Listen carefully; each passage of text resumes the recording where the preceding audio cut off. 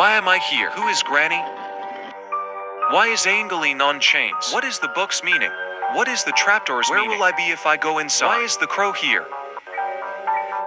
Who is Angelene? What is the meaning of What the What is the meaning of the teddy? Granny 1.9 update.